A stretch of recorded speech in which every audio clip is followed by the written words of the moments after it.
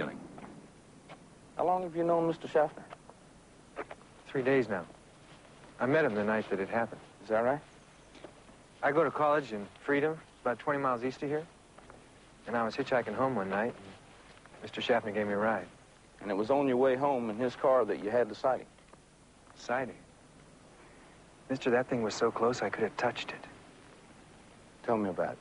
So me and young Peterson was just riding along. I hadn't picked him up more than 20 minutes before in Freedom. Anyway, I had just uh, tuned in some real good country western on the radio uh, when all of a sudden the engine started to quit. And then the radio went dead. We come to a dead stop.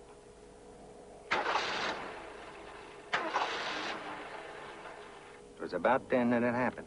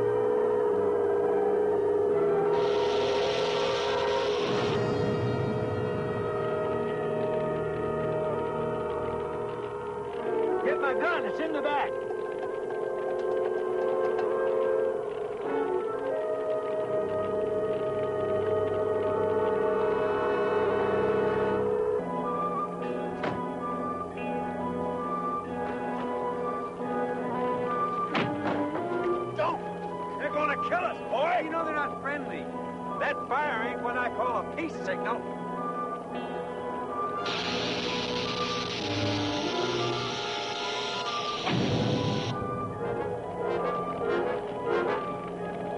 Ahead and run if you want to, boy. I ain't gonna let that thing kill me.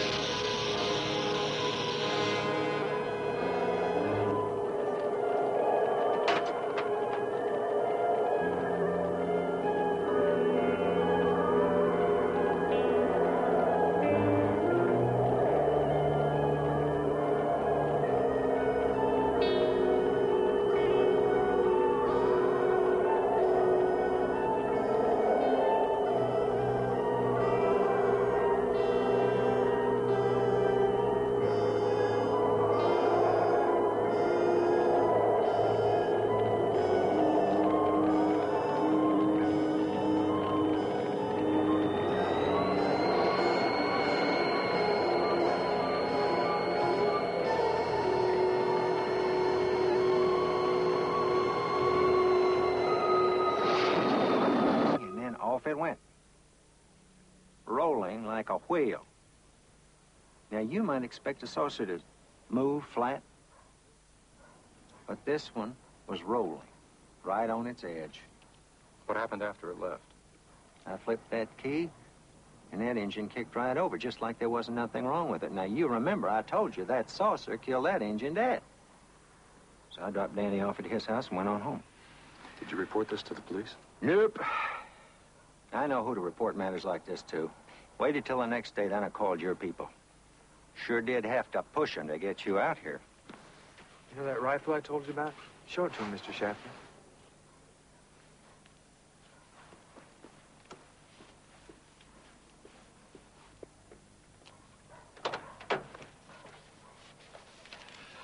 Here it is. I wonder if we might borrow that rifle for a few days. What for? We'd like to send it to our lab. We'll have it back to you shortly. I tell you what you do. Stop by my place in about an hour, 34 Elm Street. Gonna have to take a picture of this gun before I turn it over to you. Property identification. You know. Yes, sir. Look at that thing. I ain't no good to somebody unless they want to shoot their foot off.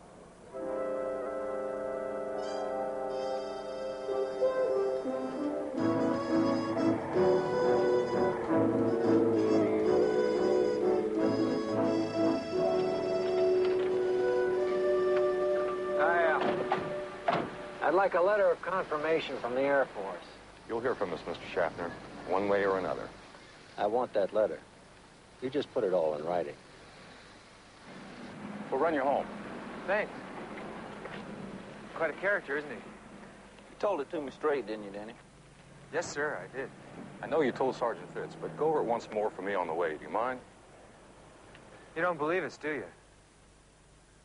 For us, it's just a matter of getting the best evidence we can. We just want to be sure, Danny. We just want to be sure we got it all straight.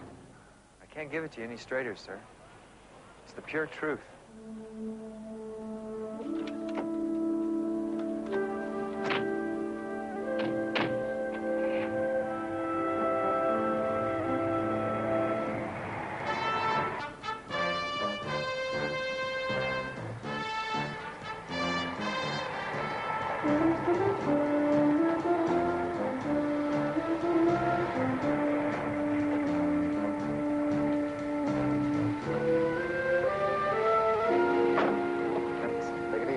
In touch.